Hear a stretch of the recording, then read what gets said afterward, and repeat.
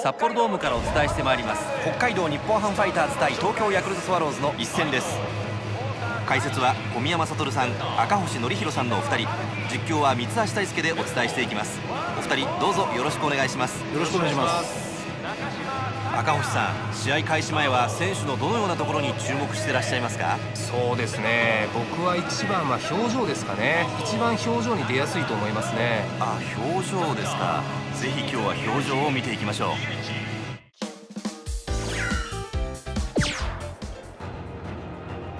こちらが先ほどの配球になります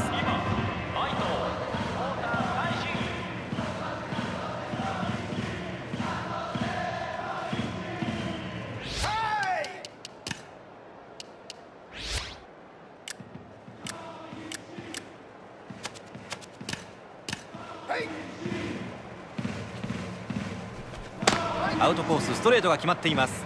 155キロがいきなり出ました。さあ外してくるのか。落ちる球を持ってきました。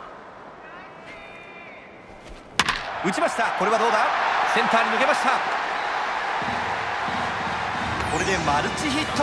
ノーアウトランナー一塁です。バッターボックスには3番近藤。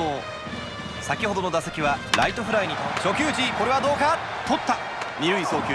セカンドホースアウト。一塁送球アウトダブルプレー。打順は4番中田。先ほどの打席でソロホームランを放っています。ファイターズダブルプレーでランナーなくなりました。これは手が出ないか？ノーボール2ストライク。打ちましたピッチャーゴロ。セカンド取る。一塁アウト3アウトです。この回ファイターズ結局3人で攻撃を終えています。7回終わって6対4ヤクルトスワローズがリードしています。残念ながら日本ハムファイターズ敗れてしまいました。赤星さん打線の奮起を期待したいところだったんですがもう一息でしたね。そうですね。最後まで点差を縮めることができなかったのは残念でしたね。そうですね。次の戦いは打線の奮起に期待しましょう勝ったヤクルトスワローズ大きな今日は勝利になりました。一方のファイターズですが痛い敗戦となってしまいました。ご覧のように今日のゲームはファイターズ敗れてしまいました。今日の解説は小宮山悟さん赤星則弘さんのお二人でした。どうもありがとうございました。ありがとうございました。この辺りで札幌ドームから失礼いたします